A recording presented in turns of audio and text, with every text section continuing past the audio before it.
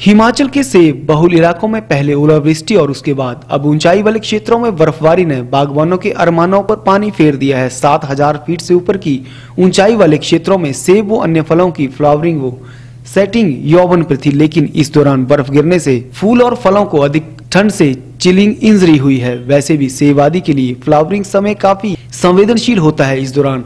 मौसम अनुकूल होना चाहिए, लेकिन इस बार ओलावृष्टि और बर्फबारी से सेब उत्पादकों को काफ़ी निराशा पहुँची है। शिमला जिला के रामपुर उपमंडल के दूरदराज किन्नू क्षेत्र के बागवान हरीश लट्टू ने बताया कि 7000 फीट से ऊपर की ऊंचाई पर सेब की फ्लावरिंग यौवन पर थी। इस दौरान ओलावृष्टि और बर्फबारी हुई है, जिस कारण बर्फ़ से सेब के पौधे टूटे और इससे सारी फ़सल बर्बाद हो गई है। हरीश लट्टू, बागवान पिछड़ा क्षेत्र, किन्नू पंचायत जैसे कि पिछले चार दिनों से भारी वर्षा हो रही है पूरे प्रदेश में। हम जो, खासकर जो बागवान क्षेत्र है, जो शिमला डिस्ट्रिक्ट का है, इसमें बहुत ही नुकसान हुआ है। इस बार ओलावृष्टि और बर्फबारी से, और जो सात हज़ार से ऊपर हाइट है, इतनी बर्फ़ आई है जिसने जाड़ी भी लगाई थी, उनके तो सत्यानाश हो गया पूरे बगीचे का। अभी फ्लावरिंग फुल फ्लावरिंग चली हुई थी और सेब का जो इतना नुकसान हुआ, हम चाहते हैं हमारी जो हिमाचल सरकार है, जिन्होंने कृषि लोन लिया है लगभग तीन लाख से ऊपर नीचे जो है, उनका कृषि लोन माफ़ किया जाए। उसके साथ साथ यहाँ जो है, उनको मुआवजा दिया जाए, जो जितने भी बागवान हैं, जो छोटे बागवान हैं, उनको बहुत ही नुकसान हुआ है। इधर कमर तोड़ दी है। ऊपर से कोरोना ने बेड़ा गर्क कर दिया है पूरे प्रदेश का।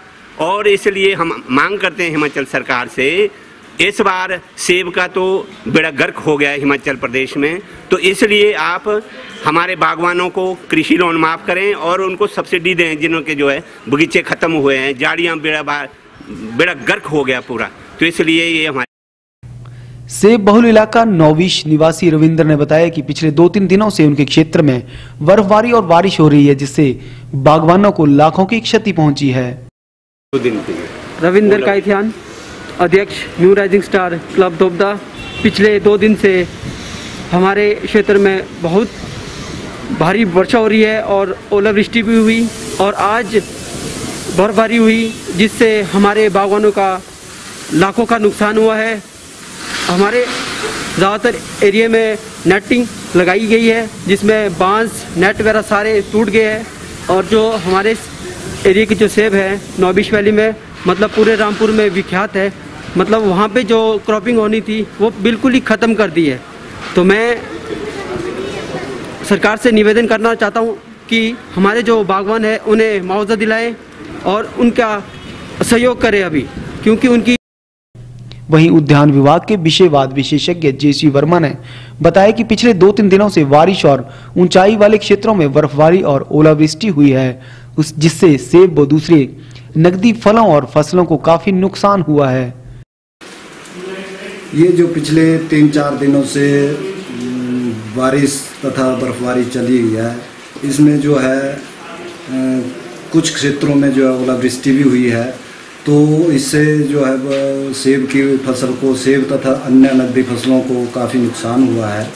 तो जो बेमौसमी बारिश जो इस वक्त बर्फबारी हो रही है, इससे कई एरियो में मतलब जो अपर हाइट में है, जहाँ पे फ्लावरिंग हो रही थी, उसमें भी चिलिंग इंजरी हो रही है। तो जो फ़सल मतलब जहाँ पे नेट्स वगैरह लगे हुए थे तो नेट्स के ऊपर भी जो है मतलब की वजह से शायद ज़्यादा नुकसान हो रहा है, क्योंकि पौधों नेट्स पे जो है बर्फबारी, टिकी और उस, वो जो है उससे जो है पेड़ गिरने शुरू हो गए, जो पेड़ों के ऊपर गिरे। और इससे जो है पूरे सभी फ़सलों को जो है काफ़ी नुकसान हुआ है। तो और जो जी। विभाग की ओर से किस तरह के प्रयास के क्या आंकलन विभाग ने जो है अपने सभी क्षेत्रीय जो हमारे सेंटर हैं सेंटर इंचार्ज को बोल दिया है कि वो जो है जल्दी से जल्दी इसका आकलन करें और शीघ्र ही वो अपनी रिपोर्ट प्रस्तुत करेंगे। उसके अनुसार जो है जो है रिपोर्ट बनाई जाएगी।